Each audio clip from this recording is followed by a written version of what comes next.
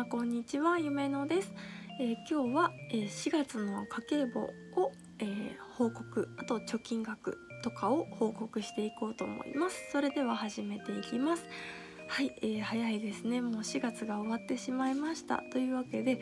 え4月の家計簿の報告あとは、えこえ4月の貯金額とかあと100万円貯金を今年目指してるんですけどあといくらかとかそういうところをですねお話ししていきます。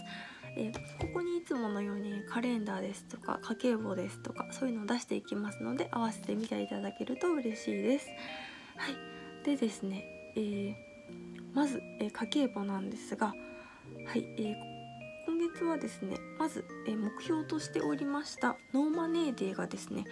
えー、なんとか達成できました。あの先週余裕ですねとか言ってたんですがギリギリ20日のマネーデーが達成できました、えー、お金を使った感じはここにカレンダーを出すんですが、えー、今月はそうですね結構あのたくさんお金を使いました。はいもう途中で諦めてはい使いました。で、えー、今月、え、使ったお金の合計なんですが、えー、9万1138円使いました。はい、えー、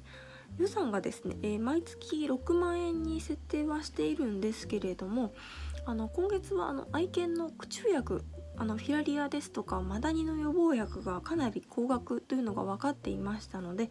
えー、今月はもともと予算を少し増やしていて8万1600円の予定でしたが、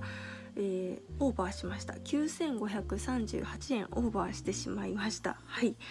はいダメでした。ということで、えー、まず、え、予算は先ほど言った通り8万1600円で支出は、えー、グラフにするとこんな感じになってます。もう圧倒的に愛犬の費用が大きいです。で愛犬の費用の次がまあお家でその次が、えー、今月はあ先月4月は服を買いましたのでお洋服となっていてあとは、えー、順番になっているんですがそうですね。えー、物の多いあの金額の多い順番に発表していくとまず愛犬が、えー、3万4500円。で被服費が、えー、1万2130円。で、えー、そうですねあの本をですね勉強の用の本をかなり買いましてで本が、えー、1万1742円。で、えー、家に、えー、1万円入れてますので、えー、1万円。で、えー、医療費がですね、えっと、すごくかかりまして、はいえー、医療費が、えー、4月は8580円でした。あの診察とお薬はいつも通り安かったんですけれどあの診断書を2個書いていただかないといけなくってそれがあの両方とも結構高額でした。はい。で、えー、生活費いろいろと雑貨とかを買ったお金が6592円。はい。で食費ですね、えー、食費は結構いろいろと買ってましてまあお菓子が多いかなと思ったりあとはそうですねあの和菓子を買ってみたりあとパンを買ったりとかいろいろしていて4362円。で、えー、通信費なんですがあの私はあの通信費のところにあの YouTube プレミアムとあとは Apple の、えー、ギガの定額のものを入れているので通信費は1580円でした。で、ハンドメイドに使ったお金が1542円で、えー、こちらはあのハンドメイドに使う資材を買いました。で、えー、美容費は110円でした。はい。あと美容費が全然かかってないんですが、はいえー、美容費が110円でした。という感じで、えー、そうですね。今月はもうしょうがないですね。もう使うと諦めて使ってしまいましたね。はい、えー、ですので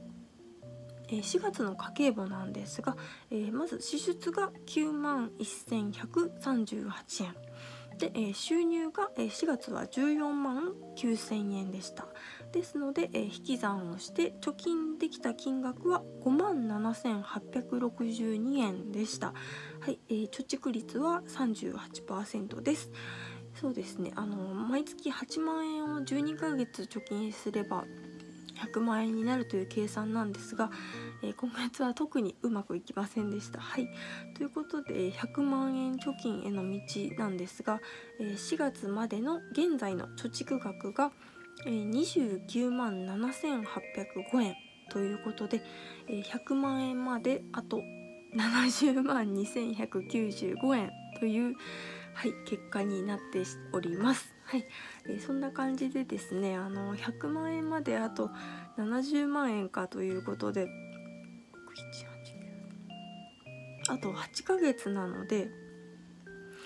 そうですね、単純計算で毎月8万7500円貯めないといけないので、あのそうですね、ちょっと5月はえっといつ失業保険が入りはするんですけれども。分その何割かになるのでかなり収入が下がっちゃうので一応あの5月は1万円で過ごすという宣言をしていたかとは思うんですがあの自由費1万円っていうことで宣言はしていたんですがちょっと厳しいかなっていうところで。そうですね。その通りに過ごせたとしても、えー、8万円貯金できるだけの失業保険が入ってくるかといったらちょっと難しいかなというところです。はい、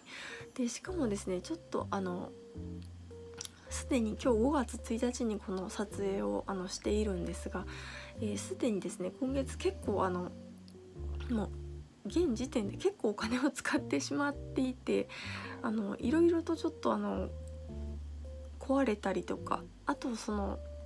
悩んだんですけど、えー、買ったものとかもありましてまたその購入品に関しては届いたらちょっとはいあの動画に撮れたらなと思ってるんですがそうですねちょっと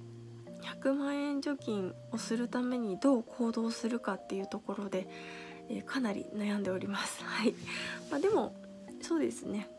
あの勉強勉強っていうかその教育訓練の学校の試験があって試験に受かってもあのかかるお金っていうのはかなり少ない金額になりますのであの大体教材費あとは、えーと、試験を受けないといけないので受験料とかあと登録料とか、まあ、大体それが結構かかりはするんですけど、まあ、かかるといってもあの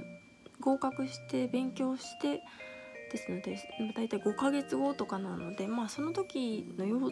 状態にもよるかとは思うんですがあの100万円貯金はあの諦めておりませんのではい。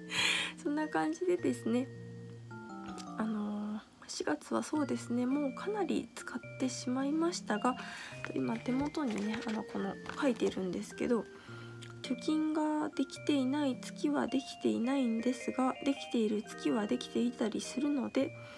えー、はい頑張っていこうかなと思っております。はい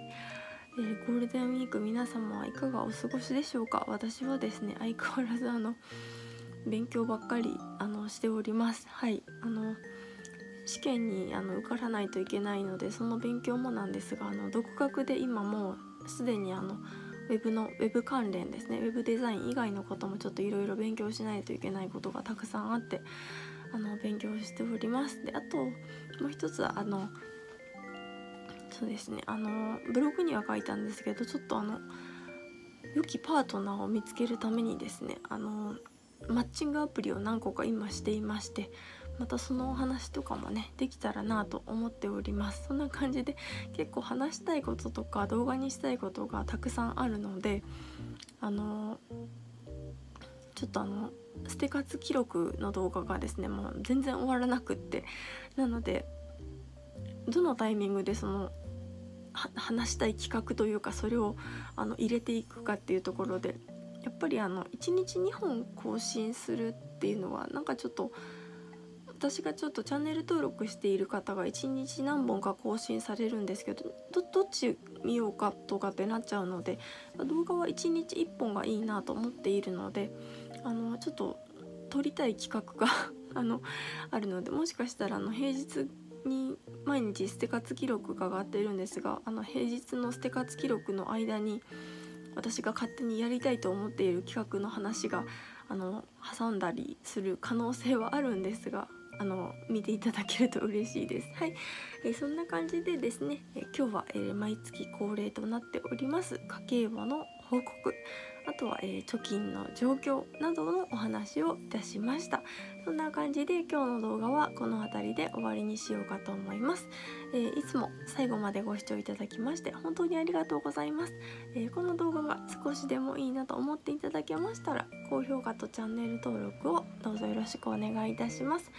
それではまた次の動画でお会いしましょう。バイバーイ。